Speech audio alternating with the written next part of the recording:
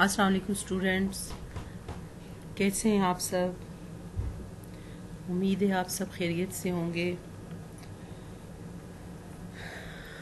आज का हमारा लेक्चर जो है, वो यूनिट फोर से है। यूनिट फोर जैसा कि आप लोगों ने देखा होगा यूनिट फोर में फ़र्स्ट जो हमारे पास टॉपिक है, वो है सेफ़ मदरहुड सेफ़ मदरहुड जैसे नाम से ही ज़ाहिर है इसमें मदर की सेफ्टी के बारे में बात की जाएगी। Safe motherhood means ensuring that all women have access to the information and services they need to go safely through pregnancy and childbirth safe motherhood को इस तरह डिफाइन किया गया है कि सेफ़ मदरहुड के मीनिंग्स क्या हैं इसका मतलब है कि तमाम वुमेन्स की असिस उनकी अप्रोच और उन अप्रोच हो, उन इंफॉर्मेशन और सर्विसेज़ तक जो कि उनकी ज़रूरत होती हैं, ताकि वो सेफली जो है प्रेगनेंसी और चाइल्ड बर्थ का जो पीरियड है इसको गुजार सकें। इट्स इंक्लूड्स अब ये किस किस, ये इंफॉर्मेशन और सर्विसेज़ किस किस चीज़ पे इंक्लूड हैं? ये हम देखते हैं, it's include education on safe motherhood इसमें एजुकेशन दी जाए सेफ़ मदरहुड के बारे में प्रेग्नेंट लेडी को prenatal care prenatal care मैंने आप लोगों को बताया था जो केयर ड्यूरिंग प्रेगनेंसी जो प्रेगनेंसी के दौरान जो केयर दी जाती है, उसके बारे में एजुकेशन इंफॉर्मेशन दी जाए and counselling with focus on high risk pregnancy और हाई रिस्क प्रेगनेंसीज जो हैं, उसमें उनका फोकस जो है, वो काउंसलिंग पे हो। उनकी काउंसलिंग की जाए कि उन्होंने किस तरह हाई रिस्क प्रेगनेंसी में कैसे सरवाइव करना है और प्रमोशन ऑफ़ मटर्नल न्यूट्रिशन और आखिरी जो बात इसमें है वो है कि जो मटरनल न्यूट्रिशन है उसको प्रमोट किया जाए उसको प्री नेटल केयर में जो है न्यूट्रिशन इस तरह की दी जाए जिससे उसकी हेल्थ प्रमोट हो।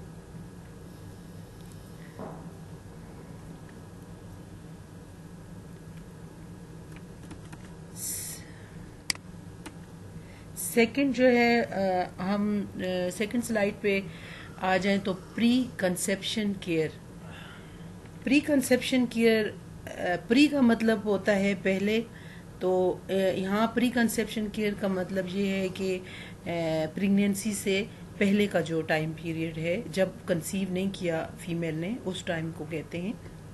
Preconception care is an opportunity for you and your partner to improve your health before you start trying for a baby. Preconception care है, ये इस, वो केयर है जिस, जो कि आपको एक अपॉर्चुनिटी मिलती है कि दोनों जो पार्टनर हैं, वो अपनी हेल्थ को इम्प्रूव करें। जब उनको ट्राई करना हो एक बेबी के लिए तो उससे पहले वो अपनी हेल्थ को इम्प्रूव करें।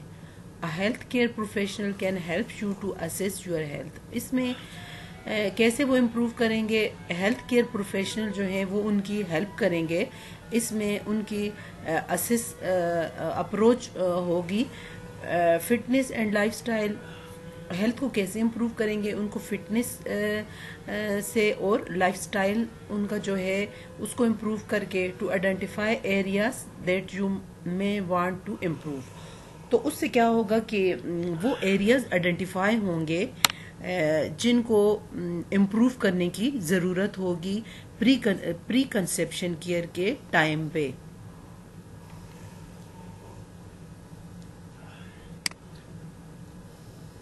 अच्छा प्री कंसेप्शन के बाद कंसेप्शन का टाइम पीरियड आ जाता है।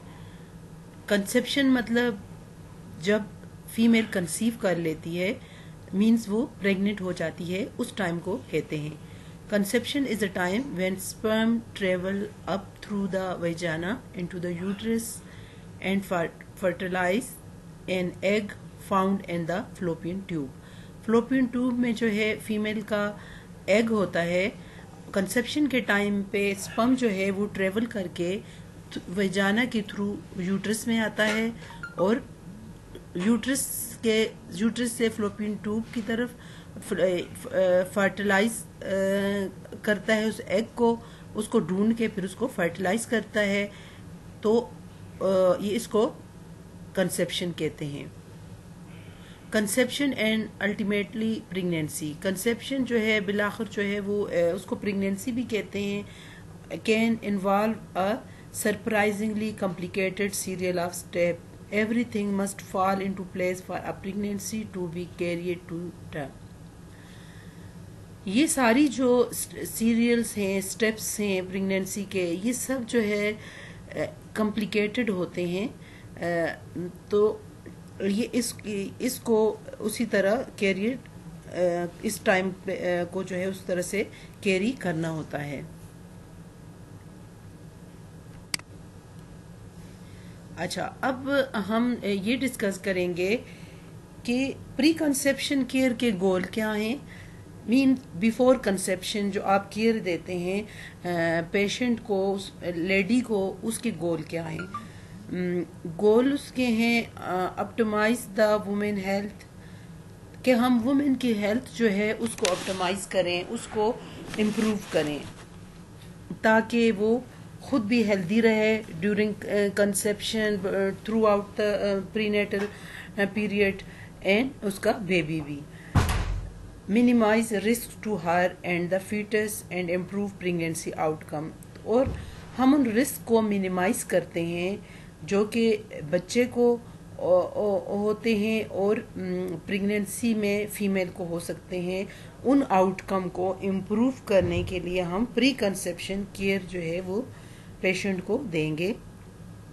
Provide information necessary to make inform decision about future reproduction और हम उनको वो ज़रूरी जो इंफॉर्मेशन हैं वो इसमें प्रोवाइड करें इन्फॉर्म करें उनको डिसीज़न लें कि फ्यूचर रिप्रोडक्शन के बारे में भी फिर उनको इससे इंफॉर्मेशन मिले और वो उस, उस पे वो डिसीज़न ले सकें।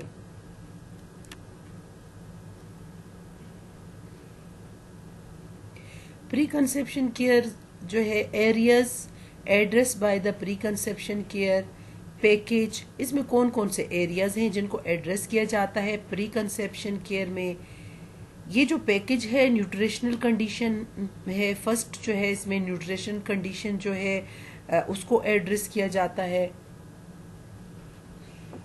न्यूट्रिशन कंडीशन उसकी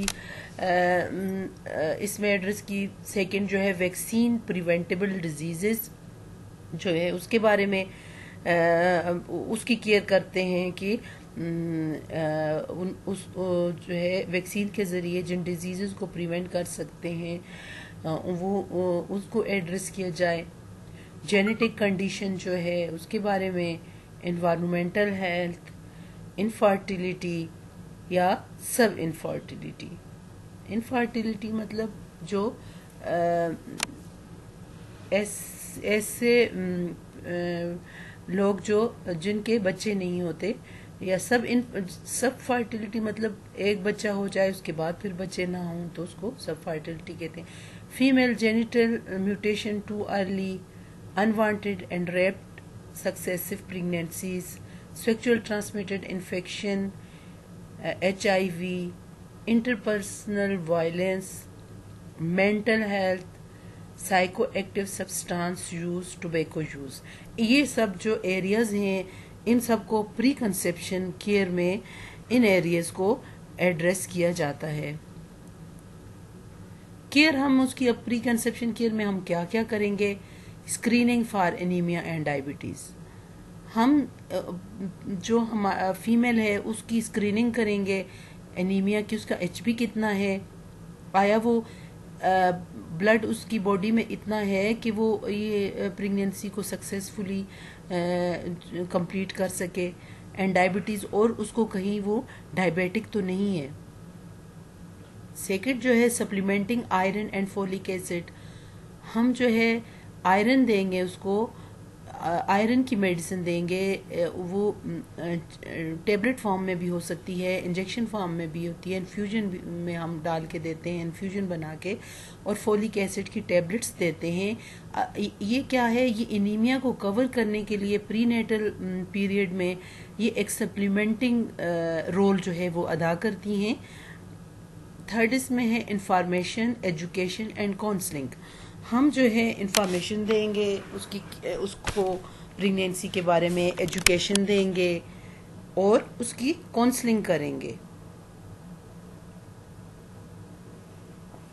फिर जो है हम मॉनिटरिंग न्यूट्रिशनल स्टेटस फिर हम उसका न्यूट्रिशनल स्टेटस जो है उसको मॉनिटर करेंगे। Supplementing energy and nutrient dense food हम सप्लीमेंटिंग uh, उसको एनर्जी और न्यूट्रेंट्स जो uh, जिसमें ज़्यादा हो ऐसा फ़ूड जो है वो देंगे। Management of diabetes including counselling हम अगर डायबिटीज़ है पेशेंट को तो उसकी मैनेजमेंट करेंगे। और उसके साथ पेशेंट जो फीमेल है हमारे पास उसकी काउंसलिंग करेंगे विद डायबिटीज़ मिलाइटिस अगर पेशेंट है तो उसको बताएँगे कि वो कैसे अपनी केयर करे। ये डायबिटिक फीमेल्स जो होती हैं, इनको प्री कंसेप्शन में इनकी काउंसलिंग की जाती है और इनको जो है, इनको मैनेज किया जाता है इनके डायबिटीज़ को ताकि ये फिर कंसीव कर सकें। और हम जो है प्रोमोटिंग एक्सरसाइज हम एक्सरसाइज को प्रोमोट करेंगे। आयोडनाइजेशन ऑफ़ साल्ट और हम ऐसा साल्ट जो है, उसको बोलेंगे कि अपने डाइट में यूज़ करें, जिसमें आयोडीन हो ताकि उसको आयोडीन की डिफिशियंसी ना हो। कंटिन्यू केयर में हम आगे जो आ जाएँ तो नेक्स्ट स्लाइड पे है screening of women and girls for tobacco use smoking and smokeless tobacco हम फीमेल्स जो वुमेन या जो प्रेग्नेंट गर्ल है या वुमेन है उसको स्क्रीनिंग करेंगे उसके टोबैको यूज़ का आ, पता करें कि वो स्मोकिंग कर रही है तो क्या उसको टोबैको यूज़ कर रही है उस स्मोकिंग में? या स्मोकलेस जो टोबैको है वो ले रही है? At all clinical visit using five A's तो जितने भी क्लिनिकल विजिट्स वो करेगी उसमें हम उससे फाइव एज जो है पूछेंगे मतलब आस्क एडवाइस आस्क मतलब हम पूछेंगे एडवाइस मतलब हम एडवाइस देंगे असिस्ट उसकी अप्रोच वहाँ तक हो एज असिस्ट और असिस्ट करेंगे हम, और अरेंज ये है five A's ask advise assist assist arrange five जो है A's then providing brief tobacco cessation advice अगर वो स्मोकिंग करती है तो हम उसको टोबैको मतलब उसको कहेंगे टोबैको सेशन एडवाइस देंगे कि आप जो है स्मोकिंग छोड़ दें टोबैको को छोड़ दें। वो भी हम जो है उसके सेशंस जो हैं वो उसके छोड़ने के लिए जो एडवाइस है वो देंगे। इसके अलावा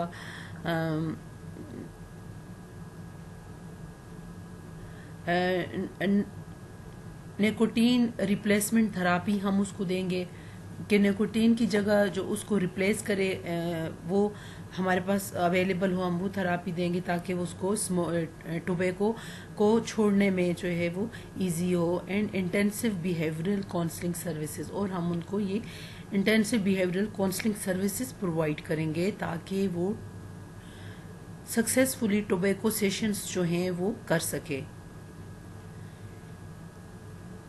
देन हम screening of all non smokers men and women and advising about harm of second hand smoke और हम ये ऊपर वाली जो तो फीमेल्स या गर्ल्स थी, वो वो थी जो कि स्मोक कर रही थी। तो ये उनकी स्क्रीनिंग थी और यहाँ इस पॉइंट में हम नॉन स्मोकर जो मेन और वुमेन है, उनकी उनकी स्क्रीनिंग करेंगे और उनको एडवाइस देंगे। About harm of the second hand smoke second hand smoke मतलब वो खुद स्मोकर नहीं है, लेकिन उनके इर्द गिर्द उनका इन्वायरमेंट ऐसा है, उसमें कोई स्मोक करता है। मीन्स जैसे हम कहते हैं कि कोई दूसरा स्मोक करे और आप उसके पास बैठे तो आप एक तरफ़ से पैसिव स्मोकर बन जाते हैं, क्योंकि आप भी इनहेल कर रहे होते हैं वो जो स्मोक होता है।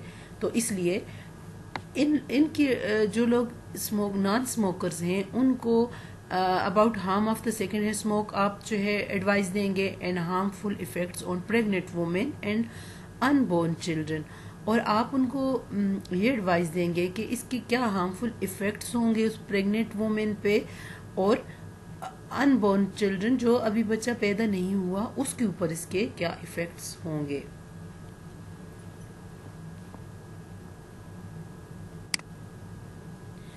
अच्छा अब हम जो एक इम्पोर्टेंट चीज़ है ऑब्स्ट्रक्ट हिस्ट्री टेकिंग हम जो है हिस्ट्री टेकिंग आप लोगों ने पहले भी पढ़ा होगा। पेशेंट जब हमारे पास आता है, जब हम उसका असेसमेंट करते हैं तो हम उसमें हिस्ट्री टेक हिस्ट्री टेकिंग भी करते हैं। हम पेशेंट की हिस्ट्री लेते हैं। और ये जो हिस्ट्री है, जो हम प्रेग्नेंट लेडी से लेंगे इस हिस्ट्री को हम ऑब्स्ट्रक्ट ऑब्स्ट्रक्ट हिस्ट्री बोलेंगे। Our obstetric history involve asking question relevant to the patient आप जो जितनी हिस्ट्री लेंगे, वो इन्वॉल्व हो कि रेलिवेंट आपने क्वेश्चन करने हैं पेशेंट से। करंट मतलब उस वक्त जो है उसके साथ and previous pregnancy previous pregnancy के बारे में उसके पूछना होगा। करंट अभी जो वो प्रेगनेंसी है, उसकी, उसके बारे में पूछना होगा। Some of the question are highly personal इसमें बहुत सारे क्वेश्चन ऐसे होते हैं, वो पर्सनल होते हैं and therefore good communication skill इसलिए आपको वहाँ पे गुड कम्युनिकेशन स्किल जो है, वो यूज़ करना होगा। तब जाके वो पेशेंट जो है, वो आपके साथ इतना फ्री होगा मतलब इतना कंफर्टेबल होगा कि वो आपको अपने पर्सनल आंसर कर सके। And a respectful manner are absolutely essential और आपने रिस्पेक्टफुल मैनर्स में जो है बात करनी होगी जब आप हिस्ट्री ले रहे होंगे, क्योंकि ये प्राइवेसी होती है, थोड़ा पर्सनल चीज़ होती है तो हर कोई जो है, इसके बारे में कंफर्टेबल नहीं होता बात करते हुए। इसलिए आपको ये ख्याल रखना होगा कि जब आप ऑब्स्ट्रेक्टिकल हिस्ट्री लेंगे पेशेंट से तो आप कि आप जो है गुड कम्युनिकेशन स्किल यूज़ करेंगे रिस्पेक्टफुल मैनर्स में आप बात करेंगे, तब जाकर के पेशेंट आपको अपना पर्सनल डेटा जो है वो फिर देगा।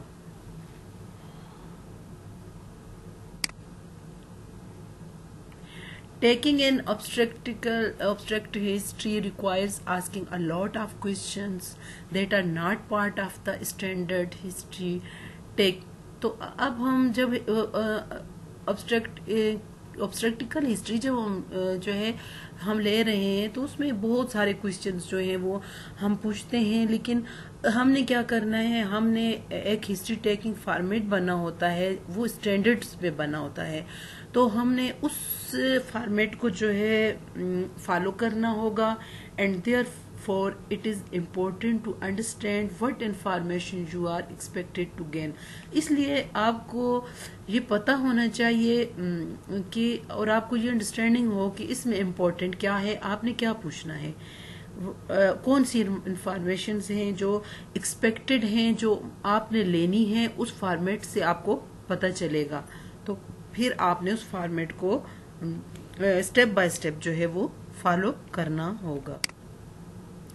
It's also wor worth noting that before 18 week gestation, most obstetric conditions are unlikely and therefore your history should focus more on the gynecological aspects abdominal pain at 8 weeks gestation could be an ectopic pregnancy अच्छा it's also worth noting that before it आपको ये ये बहुत important है कि आप ये note करें एटीन वीक गेस्टरेशन से पहले जो है ऑब्स्ट्रेक्टिकल कंडीशन जो होगी, उसके बारे में आप जब हिस्ट्री लें तो आपका फोकस जो है वो इस गायनोकोलॉजिकल स्पेक्ट स्पेक्ट पे होना चाहिए कि पेशेंट आपको आ, आ, क्या आ, हिस्ट्री देता है।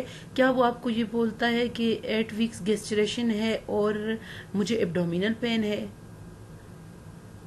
अगर इस सिचुएशन में एट वीक गेस्टरेशन में पेशेंट आपको एब्डोमिनल पेन की कंप्लेन करता है तो मतलब क्या है कि could be an ectopic pregnancy ये एटोपिक प्रेगनेंसी हो सकती है।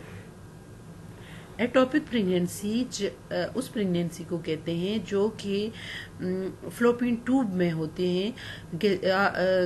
पेशेंट जो है कंसीव कर लेता है एटोपिक प्रेगनेंसी इस तरह से है कि वो फ्लोपिन ट्यूब में पेशेंट कंसीव कर लेता है और वहीं पे जो है फर्टिलाइज हो जाता है ओवम और स्पम जिसकी वजह से एटोपिक प्रेगनेंसी हो जाती है। फ्लोपिन ट्यूब्स जो होती हैं चूँकि वो वो नेरो होती हैं और उस, उसके मसल्स जो है वो वहाँ पे वो खुलते नहीं हैं। जब उसमें बेबी जो है वो ग्रोथ कर रहा होता है तो फिर वो उन, वो जो है फ्लोपिन ट्यूब्स जो है वो रेप्चर हो जाती हैं इसकी वजह से।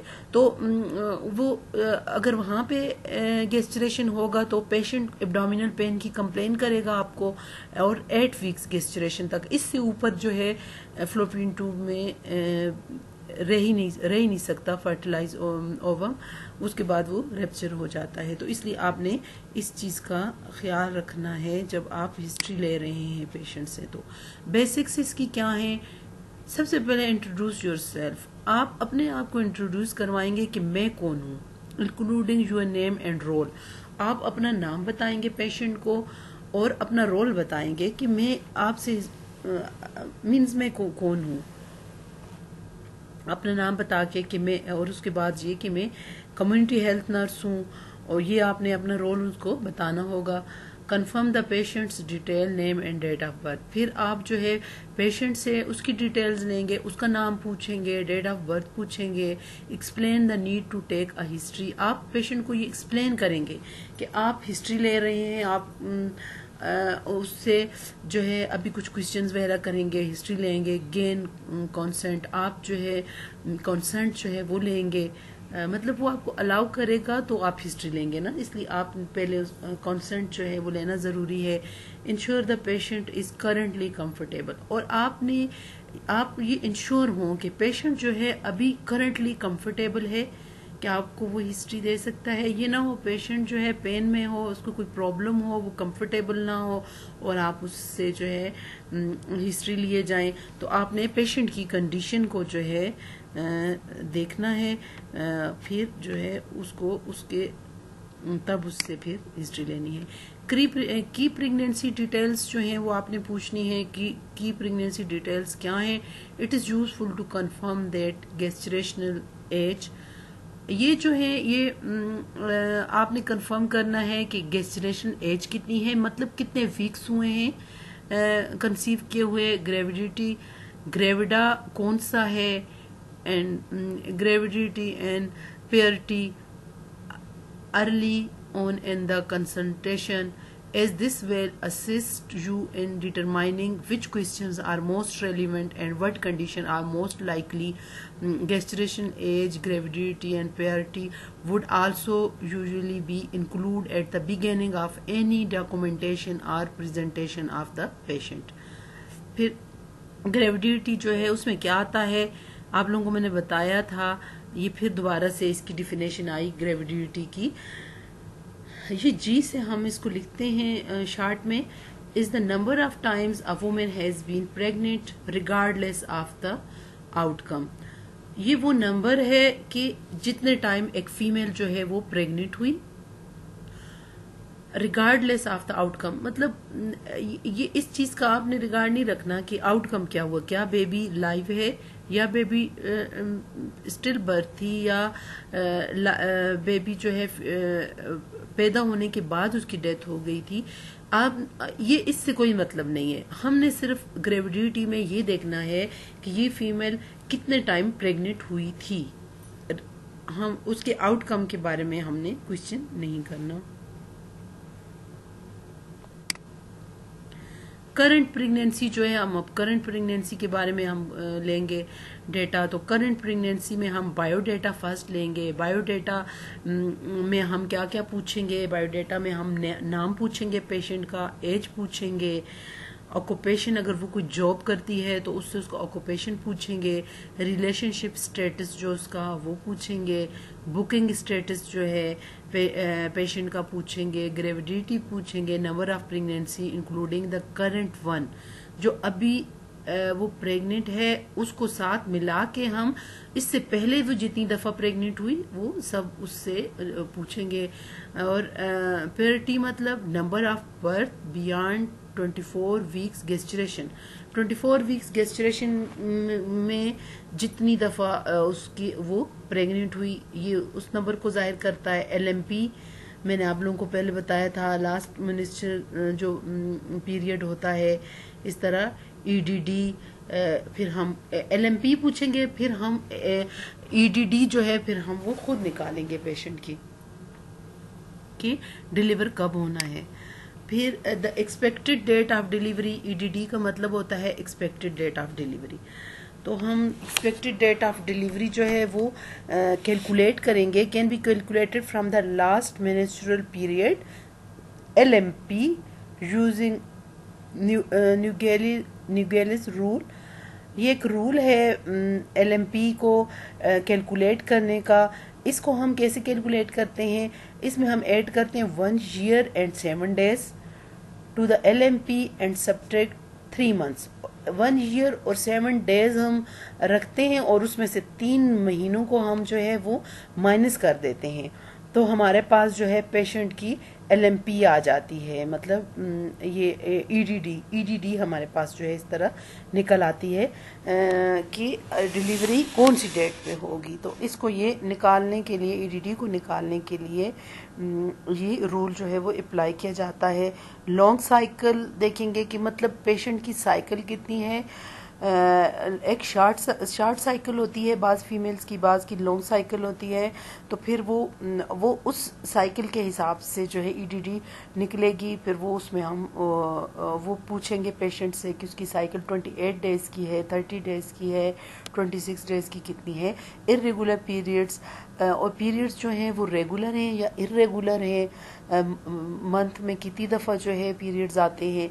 ये फिर relevant use of the combined oral contraceptive pills हम फिर जो कंबाइंड क्या वो कौन सी कंट्रसेप्टिव पिल्स जो हैं वो यूज़ कर रही थी?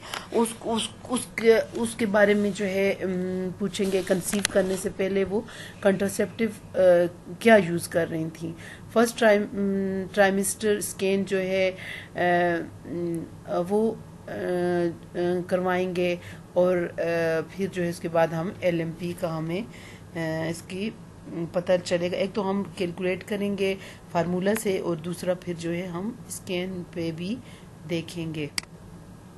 अच्छा हिस्ट्री ऑफ़ करंट प्रेगनेंसी अब हम करंट प्रेगनेंसी की हिस्ट्री ले रहे हैं। फ़र्स्ट ट्राइमिस्टर मैंने आपको बताया था लास्ट जो हमारा फ़र्स्ट जो लेक्चर था, उसमें फ़र्स्ट ट्राइमिस्टर कौन, कितने वीक्स का होता है सेकंड ट्राइमिस्टर सेकंड ट्राइमिस्टर फिर थर्ड ट्राइमिस्टर तीनों ट्राइमिस्टर्स के जो वीक्स होते हैं, कहाँ से कहाँ तक होते हैं, ये मैंने आप लोगों से फ़र्स्ट लेक्चर में आप लोगों को पढ़ा दिया था। ये आप लोग वहाँ से देख लीजिएगा। हिस्ट्री ऑफ़ लेबर फिर हम हिस्ट्री ऑफ़ लेबर देखेंगे कि उसको लेबर पेन जब स्टार्ट होते हैं तो वो कितना टाइम तक होते हैं, उसकी क्या हिस्ट्री है लेबर की, क्या वो नॉर्मली डिलीवर हो जाती है या सिजेरियन होता है या कोई दूसरे मेथड से जो है डिलीवर होती है, उसका लेबर का दौरानिया कितना होता है। हिस्ट्री ऑफ़ फ़र्स्ट ट्राइमेस्टर में हम history history of first trimester में जो है, हम क्या क्या देखेंगे method of confirmation of pregnancy. First trimester में तो हम वो मेथड यूज़ करते हैं जिससे हम ये कंफर्म हो जाएँ कि पेशेंट जो है प्रेग्नेंट है मतलब एलएमपी हम उसकी देखते हैं जनरल हेल्थ में हम पेशेंट की टाइडनेस देखते हैं कि क्या वो कहती है कि मैं थक जाती हूँ मलेज है उसको and other non specific symptoms जो हैं वो आपको पेशेंट बताता है। ब्लीडिंग के बारे में अगर आपको बताए पेन बताए तो एटॉप पेन बताए एटॉपिक प्रेगनेंसी की तरफ़ आप जाएँगे, या मिस कैरेज आपको ये होगा कि शायद एबोर्शन होने वाला है मिस कैरेज होने वाला है, वही जानल डिस्चार्ज जो है उसके बारे बारे में पूछते हैं। ये सब फ़र्स्ट ट्राइमेस्टर में हम पूछते हैं पेशेंट से। फिर हाइपरमिसिस मतलब वॉमिटिंग ज़्यादा होती है। हाइपरमिसिस के बारे में पूछेंगे। यूरिनरी प्रॉब्लम्स जो हैं, उसके बारे में पूछेंगे। इसमें हम इन्वेस्टिगेशन कराएँगे पेशेंट के अल्ट्रासाउंड करवाएँगे ब्लड के इन्वेस्टिगेशन करवाएँगे और यूरिन टेस्ट करवाएँगे। ड्रग हिस्ट्री हम पेशेंट से लेंगे कि कोई ड्रग्स तो वो यूज़ नहीं कर रही या इससे पहले उसने कोई ड्रग्स यूज़ की हों, उसकी ट्रीटमेंट के बारे में पूछेंगे। और हम पेशेंट से वैक्सीनेशन के बारे में पूछेंगे कि उसने वो वैक्सीनेशन जो है उसने की हुई है प्रॉपर या नहीं, वो उसके वैक्सीन ये हम, ये चीज़ें जो है फ़र्स्ट ट्राइमेस्टर में पूछेंगे। फिर history of second and third trimester में हम कौन कौन सी हिस्ट्री लेंगे? इसमें हम हिस्ट्री ऑफ़ फीटल मूवमेंट्स हम पेशेंट से सेकंड ट्राइमेस्टर तक बेबी जो है, उसमें वो मूवमेंट करना स्टार्ट कर लेता है। तो फिर हम उससे फीटल हिस्ट्री लेंगे कि कितनी मूवमेंट होती हैं उसको फीमेल प्रेग्नेंट लेडी को। और सिम्टम ऑफ़ एनीमिया हम सिम्टम ऑफ़ एनीमिया चेक करेंगे मिस कैरेज चेक करेंगे, कहीं अबॉर्शन ना हो जाए एटॉपिक प्रेगनेंसी का पता करेंगे। इसके अलावा वेजानल डिस्चार्ज का यूटीआई का यूटीआई हाइपर diagnosis, gravidum, और सिम्टम्स ऑफ़ एंटीपार्टम हेमरेज आप लोगों को मैंने बताया था ड्यूरिंग प्रेगनेंसी जो ब्लीडिंग होती है उसको एंटी पार्टम हेमरेज कहते हैं। इस तरह हम प्लासेंटा प्रीविया देखेंगे डायबिटीज़ देखेंगे प्री टर्म लेबर्स दे लेबर देखेंगे कि टाइम से पहले ही पेशेंट अगर लेबर में चली जाए, उसको पेन स्टार्ट हो जाए वो प्री टर्म लेबर को और आस्क फॉर वैक्सीनेशन, और हम पेशेंट से वैक्सीनेशन के बारे में पूछेंगे। अब आपने तीनों ट्राइमिस्टर्स देख लिया कि तीनों ट्राइमिस्टर में आप पेशेंट से क्या क्या जो है, उससे क्या क्या आपने पूछना है। फिर result of all antenatal blood test routine and specific हम रिजल्ट्स देखेंगे। तमाम एंटी ब्लड टेस्ट जो रूटीन में लिए गए थे या कोई स्पेसिफिक ब्लड टेस्ट किए गए थे, उन सब के रिजल्ट्स को देखेंगे। इस तरह हम स्कैन जो होंगे डिटेल स्कैन जो होंगे, उनके रिज़ल्ट को देखेंगे और चेक करेंगे और उसके नोट्स डालेंगे if she is post natal अगर वो बेबी पैदा कर चुकी है और पेशेंट पोस्ट नेटल है आपके पास तो फिर आप उससे लेबर एंड डिलीवरी के बारे में पूछेंगे history of the post natal period और आप उससे पोस्ट नेटल जो हिस्ट्री वो लेंगे। अब यहाँ पे यहाँ तक जो है आप लोगों के लेक्चर का एंड होता है। मैं आपको इससे आगे का लेक्चर सेकंड पार्ट में इंशाल्लाह डिलीवर करती हूँ थोड़ी देर तक। आप लोग को अगर इसमें अंडरस्टैंडिंग मुझे उम्मीद है कि आप लोगों को अंडरस्टैंडिंग हो गई होगी, लेकिन अगर आपको कोई इसमें प्रॉब्लम है तो आप लोग मुझसे, मेरे सेल नंबर पे आप मुझसे पूछ सकते हैं। और दूसरा जो है, इसको कंटिन्यू करते हुए सेकेंड लेक्चर में मैं आपको हम्म, थोड़े टाइम तक वो भी ये कंप्लीट कर लेती हूँ। तो